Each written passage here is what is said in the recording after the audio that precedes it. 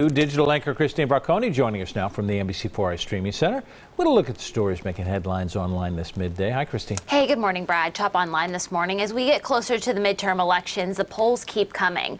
And the latest political poll of Ohio voters conducted by the Trafalgar Group has has placed Republicans ahead of their competition yet again in the two most high profile races, governor and U.S. Senate.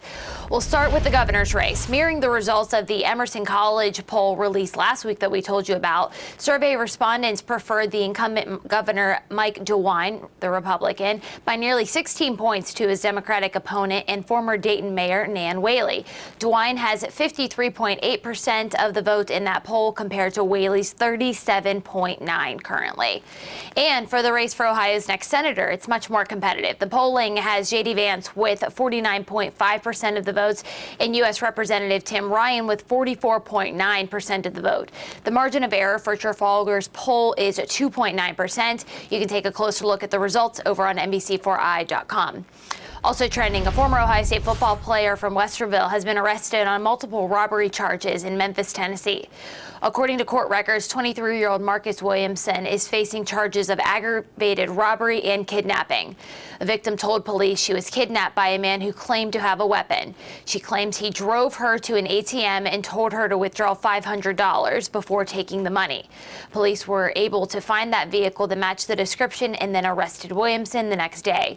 His bond has been set at $80,000. Williamson is scheduled to appear in court in September.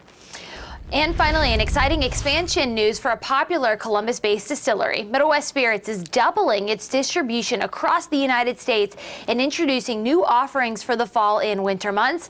Middle West, known for producing award winning spirits since 2008, has partnered with the Independent Distributor Network to expand distribution to additional 15 states, putting their hard to get a hold of around the holidays bourbon cream and other spirits in more than 40 states now. Middle West also launching launching a new gym this winter, and they will reopen Service Bar, which is owned and operated by the distillery in the Short North.